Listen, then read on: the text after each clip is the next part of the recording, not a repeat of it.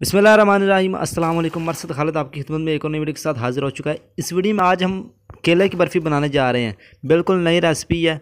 बनानी बहुत ही आसान है और इस रेसिपी को आप ज़रूर ट्राई कीजिएगा। ये देखें कितनी ज़बरदस्त हमारी बर्फ़ी तैयार हुई है। इससे पहले अगर आपने अभी तक चैनल को सब्सक्राइब नहीं किया, चैनल को सब्सक्राइब करके बेल के आइकन को आल पर सेट कर लें, क्योंकि यहाँ पर हम ऐसी खाने की रिलेटेड वीडियो लेके आते रहते हैं। तो आइए देखते हैं किस तरीके से ये बर्फ़ी तैयार की जाती है। चलते हैं वीडियो की तरफ़। सबसे पहले यहाँ पे जी देखें जी केले की बर्फ़ी बनाने के लिए सबसे पहले यहाँ पे आप देखें। यहाँ पे जी मैंने बड़े साइज़ के यहाँ पे चार केले लिए हैं यहाँ पे देखिए ऐसी भी आपके पास केले हो ना वो आप ले सकते हैं इसमें कोई मसला नहीं है। तो यहाँ पे इसका भी अब छिड़के हम उतार देंगे ये देखिए आप। ऐसे छिड़के हम उतार दें इसके। कमाल की रेसिपी है जी ज़रूर आप इस रेसिपी को ट्राई कीजिएगा ये देखें आप।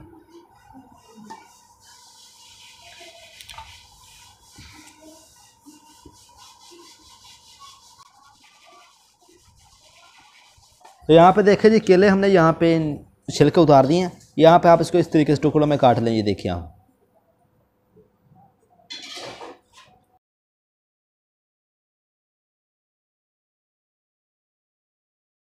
एक मैंने कांटा लिया, ये देखिए आप, इसको इस तरीके से मैश कर लेंगे, ये देखिए आप ऐसे।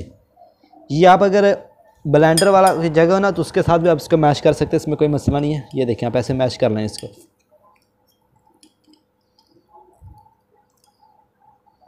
अब यहाँ पे हमने कढ़ाई लिया यहाँ पे हमने घी लिया आधा कप। ये इसके अंदर ऐड कर देंगे, ये देखिए इसकी जगह आप अब यहाँ पे देसी घी भी इस्तेमाल कर सकते हैं, मक्खन भी इस्तेमाल कर सकते हैं, इसमें कोई मसला नहीं है। हमारे पास घी है तो ये हमने इसके अंदर डाल दिया। गंदम का आटा लिया, यहाँ पे देख लीजिए। डेढ़ सौ ग्राम यहाँ पे आटा लिया मैंने। ये इसके अंदर आप शामिल कर दें। देखिए आप इस तरीके से। यहाँ पे अभी हमने घी के साथ आटे को यहाँ पे हमने भूनना है अच्छी तरीके से। जब तक यहाँ से इसके अंदर खुशबू आना शुरू हो जाए और आटे का कलर यहाँ पे चेंज ना हो जाए तब तक हम यहाँ पर इसको भूनेंगे। यहाँ पे जितना ज़्यादा आप आटे को भूनेगा, आपकी उतनी ज़्यादा बर्फ़ी ज़बरदस्त तैयार होगी। ये इस बात का आप ध्यान रखें।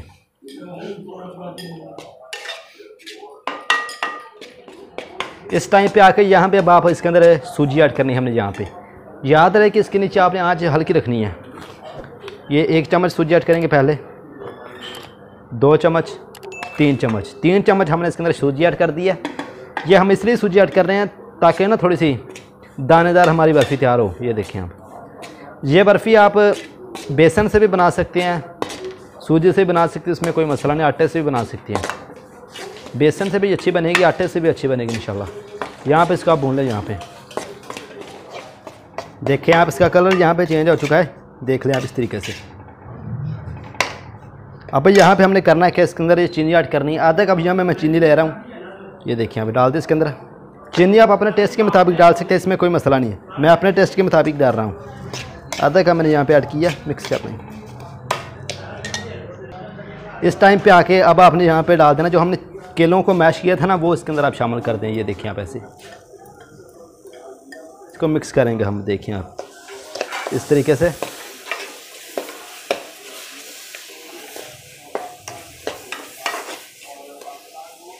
अभी दूध इसके अंदर ऐड करेंगे, ये देख लीजिए। एक कप, यहाँ पे ये इसके अंदर ऐड कर देंगे।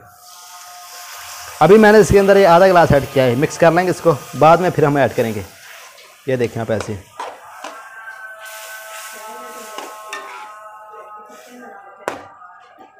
मेरे पास ये हरी इलायची है जिसके अंदर मैं शामिल कर दूँगा। ये मैंने खोल कर इसके अंदर डाली है, इस बात का ध्यान ये देखिए, मिक्स कर लेंगे इसको। अब यहाँ पे जो आधा दूध रह गया इसको आप इसके अंदर शामिल कर दें, ये देखिए आप। यहाँ पे हमने फ़ूड कलर लिया है, इसके अंदर आप शामिल कर दें, बस थोड़ा सा डालें ज़्यादा नहीं डालें ये देखिए आप मिक्स कर लेंगे अब इसको। ये देखिए आप ऐसे। यहाँ पे इसका कलर अच्छा आ जाएगा, इसलिए मैंने ये डाला। नहीं है तो ना डाला, इसमें कोई मसला नहीं है। ये देखिए आप। अब यहाँ पर हमने इसको अच्छी तरीके से यहाँ पर पकाना है। जब इस कंडीशन में ये आ जाए ना, देख लीजिए आप इस तरीके से। अब हमने इसके अंदर घी और ऐड करना है। क्योंकि दानेदार हमने इसको बनाना तो घी इसके अंदर और ऐड करेंगे। ये देखिए आप। अब यहाँ पे इसको मिक्स करके भून लेंगे और जितना ज़्यादा यहाँ पे आप इसको भूनेंगे, उतना ये ज़बरदस्त तैयार होगा, उतना मज़ेदार ये तैयार होगी। यहाँ पे, अब यहाँ पे हमारा तैयार हो चुका है। ये देख लें कितना यहाँ पे दानेदार ये तैयार हुआ, ये देख लीजिए आप यहाँ पे। खुद अंदाज़ा लगा सकते हैं, ये देखिए आप। अभी यहाँ पे तैयार हो चुका है। आप नीचे ना चूल्हे के नीचे आँच बंद कर दें, इसमें कोई मसला नहीं है देख लीजिए। अब यहाँ पे किसी ट्रे के अंदर इसको फैलाएँगे हम तो ये देख लें, अब यहाँ पर तैयार हो चुका है हमारा। अब एक मैंने ट्रे लिया कोई भी, इसके नीचे थोड़ा सा ना घी लगा देंगे ऐसे। यहाँ पे ग्रीस हमने कर लिया एक साइड से इसको मैंने किया है। तो अब यहाँ पे जो हमने बर्फ़ी अभी तैयार की ना, वो अब यहाँ पे रखेंगे, ये देखिए आप। इस तरीके से। अच्छे तरीके से यहाँ पे इसको सेट करके हमने रखना है। यहाँ पे ध्यान इस बात करें। ये देखिए यहाँ अब यहाँ पे इसको हम सेट कर लेंगे अच्छी तरीके से। ये देख लीजिए आप। इस तरीके सेट करेंगे ये देखिए जान दें। अब यहाँ पे देखें जी, मैंने यहाँ पे बादाम पिस्ता लिया, ये देख लीजिए आप। कोई भी ड्राई फ्रूट ले सकते हैं, इसमें कोई मसला नहीं है। अब यहाँ पे, अब हम इसके ऊपर लगा देंगे, ये देखिए इस तरीके से। ये देखिए आप। लगा देने के बाद इसको थोड़ा सा ना ऊपर से आप इस तरीके से प्रेस कर दें, देखिए आप। ताकि इसके ऊपर अच्छी तरीके से लग जाए, ये देखिए आप इस तरीके से। अब यहाँ पे हमने करना कि इसको अब यहाँ पे आधे घंटे के लिए रेस्ट दे दें। ताकि ये ना थोड़ी सी जम जाए। इसके बाद मैं आपको इसको काट के भी चेक करूँगा कितनी ये ज़बरदस्त तैयार होगी तो इसके बाद मिलता हूँ आपसे मैं। अभी यहाँ पे देखें जी ये ठंडी हो चुकी है। यहाँ पे इस तरीके से काटेंगे। ये देखना कितनी ज़बरदस्त तैयार हुई। ये देखें आप।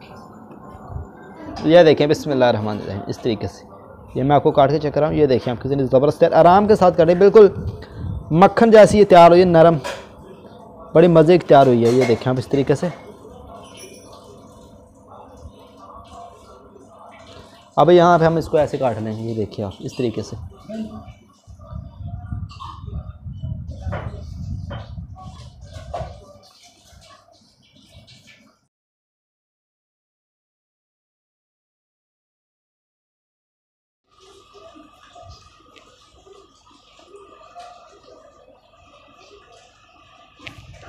यहाँ पे देखें जी, बर्फ़ी हमारी तैयार हो चुकी है। केले की बर्फ़ी, ये देखिए आप कितने ज़बरदस्त तैयार है देखें आप। देखें आप कितनी ज़बरदस्त तैयार हुई है। बड़ी ही मज़ेदार ये मक्खन की तरह आपके मुँह में घुल जाएगी। दानेदार बर्फ़ी तैयार हुई है। इस रेसिपी को आप ज़रूर ट्राई कीजिए। कमेंट में आप ज़रूर बताइए कैसी कैसी ये आपको रेसिपी लगी। अगर ये वीडियो आपको पसंद आए तो लाइक करें शेयर करें सब्सक्राइब करें। मिलते हैं अगले वीडियो में। अल्लाह हाफिज़।